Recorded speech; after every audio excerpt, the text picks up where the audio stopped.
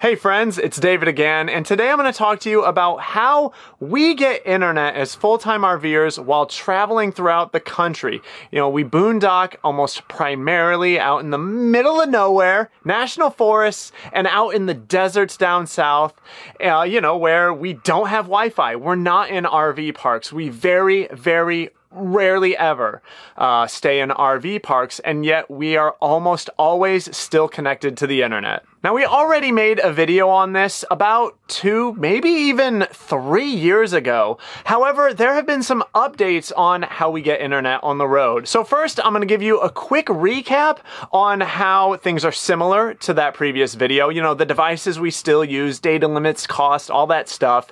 And then I'm gonna talk to you about what is new, what we're currently doing different than we were when we made that first video. And then at the end, I'm gonna tell you about our future plans, uh, because because how we're currently getting internet on the road is not, hopefully, how we're going to be getting it a year or certainly two years from now, but we might be able to switch to the ultimate way to get internet as a full-time RVer, maybe within the next year. But before we get into it, I want to remind you guys about my brand new YouTube channel called Flavor Unbound. It's a cooking channel where I look around for awesome recipes to then try out for myself.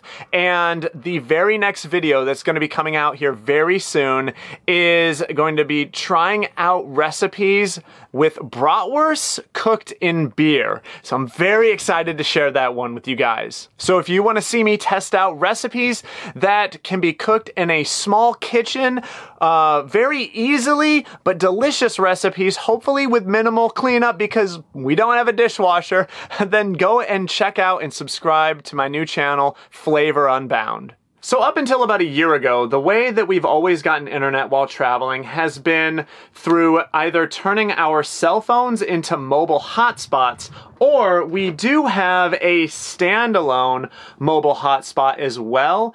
And so this is through uh, Verizon Wireless is our carrier, but uh, you can get mobile hotspots through other cell phone carriers too, T-Mobile, AT&T. Um, the reason we use Verizon though is because they uh, tend to have the largest amount of coverage. So like their coverage map is more thorough than T-Mobile and AT&T. And so, you know, we have a larger chance of still having cell phone signal out in the middle of nowhere with Verizon than with other carriers. However, there are still a lot of dead zones, uh, and we've definitely encountered those. But the way these work, and our cell phones also that we can turn into mobile hotspots, is they broadcast a Wi-Fi signal that our laptops can then connect to, and, you know, they, it works just like any old Wi-Fi signal, except it's coming from a device like this. Now, we only have 15 gigabytes of data per device. So this one, my phone, and Roe's phone all have 15 gigabytes, which comes to 45 gigabytes total.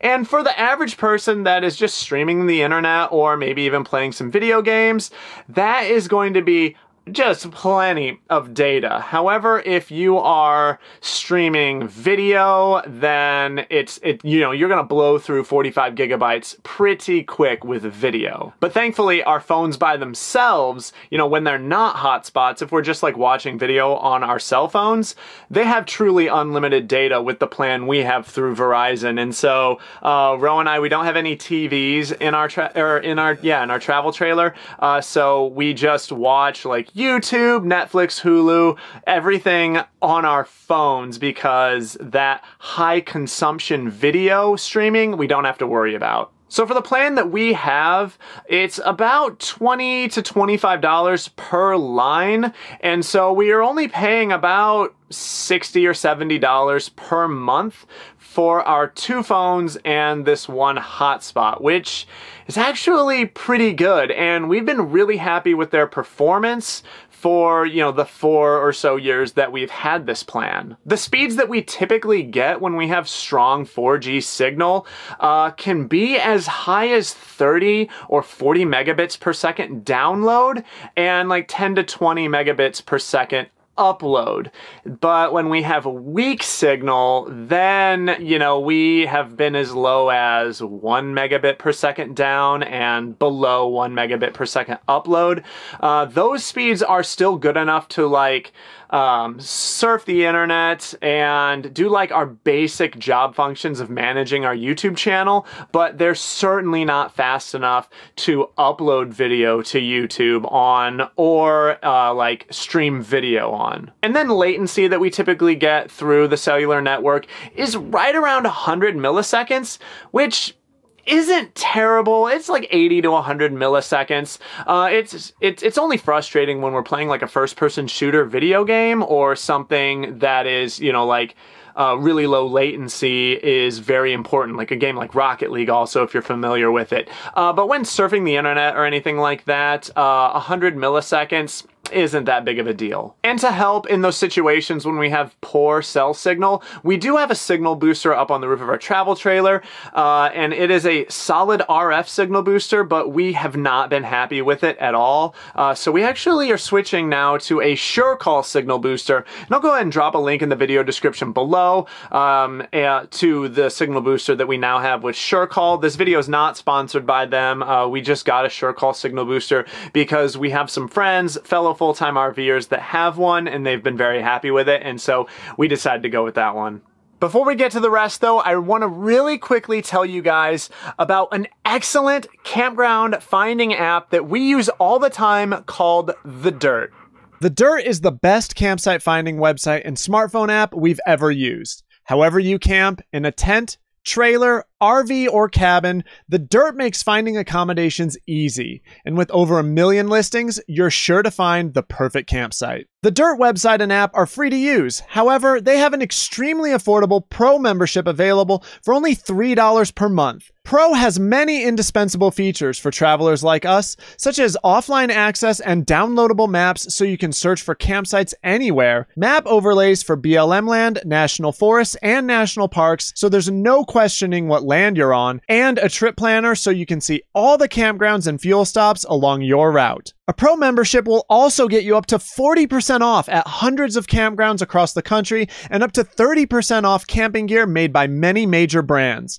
And if you go through the link in the video description below and use promo code FATE, you'll receive a free 90 day membership to the Dyrt Pro. Unlock better camping with exclusive features and savings with the Dyrt Pro. So up until recently, the setup that I just explained to you, those devices have all worked very, very well for us. But within the last year, we realized we need a lot more data. That 45 gigabytes a month uh, just was not going to be enough. And that's because Roe really, really wanted to become a Twitch streamer. And so she has. For the last year, she has been streaming on Twitch three to four days a week uh, and you know probably averaging about five hours per stream and you know when you're uploading 720p video at a bitrate of 3500 kilobits a second, 45 gigabytes, I mean, just wasn't even close. And for the longest time, the uh, most data that you could get on a data plan, a hotspot plan from one of the major carriers, Verizon, T-Mobile, AT&T, was 22 gigabytes per month. And anything over that, like if you needed more than that, it was just insanely expensive. And so there really wasn't a good option for us to get more data until recently. The pandemic, with all of the remote work that has just exploded because of it, you know, everyone working from home, the major carriers we're just forced to come up with data plans with a ton of data for these remote workers. And so it just sort of timed up well that they're all releasing these massive data plans right at the time that we needed it. And so we purchased from Verizon a uh, wireless router. Uh, this thing cost us, I think, 200, maybe $250.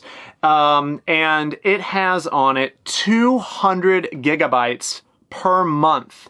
And so this is right about the amount of data that Roe needs to be able to stream as much as she wants on Twitch. And one of the great things about that uh, wireless router as well is that it has an Ethernet cable port. And so we can run an Ethernet cable from it to her laptop there that she games on uh, to help reduce latency. And this, you can see behind me, is her streaming setup. And if you guys want to hang out with her when she streams live, since you're not really seeing her in as many videos now, uh, you've got plenty of opportunities to go to twitch.tv slash roenut and, you know, follow her on there and you'll get notifications when she goes live and you can hang out with her live uh, when she streams multiple times times a week. She loves doing it. She has an absolute blast. It, it just really makes her happy. And so we decided that the cost was well worth it. Uh, and this is the downside of getting all of that data. It's definitely cheaper than it used to be but it's still pretty expensive to get 200 gigabytes of data a month on this wireless router. It costs us $200 a month. Uh, so yeah, but, but you know, a dollar per gigabyte of data per month isn't that bad. And the performance that we get out of that is similar to the speeds that I talked about earlier because it's still using a 4G LTE connection. Unfortunately, Verizon doesn't have anything that can, can or I'm sorry, any one of these um, like routers that can connect to the 5G network yet. Uh, T-Mobile does and AT&T both do. Um, and so you can get speeds approaching 100 megabits per second with those. But with this thing, the highest speeds that we can typically get with a strong signal is 40 megabits down and about 20 up. But again, that's with a very strong 4G LTE signal. Another downside to this is that Verizon is only offering them to businesses. It is a business plan, so you can't get these like massive data plans, 200 gigabytes a month or more um, through just a typical consumer plan. You have to be an established business. And so we're able to get it because the YouTube channel that we run, what you're watching right now, this is our business. It's our sole proprietorship. And so we were able to sign up and get a business plan through Verizon. Despite the fact that these devices and our plans through the cellular network with Verizon have worked pretty well over the years, uh, one of the big things, one of the big bummers is that needing this internet to be able to run our YouTube channel and for Roe to be able to stream on Twitch has limited us to, you know, having to stay in sites in the national forest and in the desert BLM land that have signal. And it can be pretty difficult finding sites that have strong 4G coverage in those places out in the middle of nowhere. And so wouldn't it be nice if we didn't have to use the cellular network to access the internet? Well, that is what we're hoping for within the next year. It's sounding like Starlink through SpaceX you know the uh, internet from space that uh, we're gonna get from their um, their satellites is going to be ready for our RVers within the next year. And the reason it's not ready right now is that they're having issues with mobile units. Right now, uh, you know, you can get Starlink satellite internet. However, it can only be stationary. Uh, for some reason, they're just having issues figuring out how to have those, uh, you know, the stations be able to move around and still be able to track satellites properly. Uh, but uh, from what I've heard, it sounds like they're going to be solving that problem and launching Starlink for mobile applications here within the next year. And we're very excited about that because Starlink costs only $100 a month, which Still a little expensive for internet, I guess, but it's half ex- half as expensive as the um, wireless router I just showed you guys, and it would be able to replace our other hotspot as well. And so we would be saving almost $125 or maybe over $125 a month by going with Starlink. And another great thing about Starlink is that not only will it be cheaper, but like I said, we'll be able to get internet practically anywhere as long as we have a good view of the sky. Nothing is blocking the uh, station that's trying to beam to the satellites. As long as nothing's blocking our view of the sky, then we should still be able to have internet just about anywhere. And not only that, it's going to be much, much faster than uh, our hotspots. Uh, I'm pretty sure speeds were around 100 megabits per second download. Unfortunately, upload speeds were uh, quite a bit slower, but I think they were still in the 30 megabits per second upload range, which is still super fast, way faster than we'll ever need. And the latency is actually going to be way lower than uh, what we have from the cellular network as well. Uh, don't quote me on this, but I seem to remember latency being around 40 milliseconds or less which is incredible um, considering right now we're getting 100 milliseconds of latency. But I actually think it's faster than that. But I mean, anything less than 40 milliseconds is just so fast that we just don't even care. Like, we'll take it.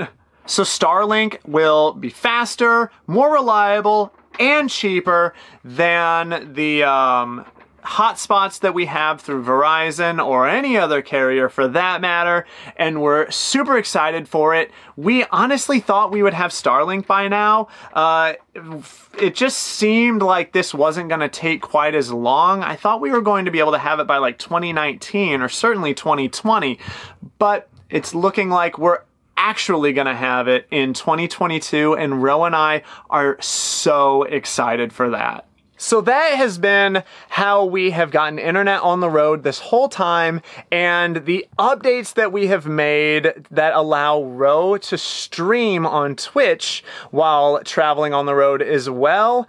And also the hopes that we have for Starlink that really is going to revolutionize internet on the road, full-time RVers that can get internet through Starlink are it's it's going to be a game changer, you guys. We're going to have internet pretty much everywhere. It's going to be pretty affordable and lightning fast. I cannot wait for that day. I've been waiting for years and years now, but it seems like it's finally going to happen. If you guys have any questions or if uh, you know there's a way that you're currently getting internet on the road that makes more sense than what we're doing, please leave that in the comments below for others to see and for Roe and I to see as well. Sweetie, what is on your face?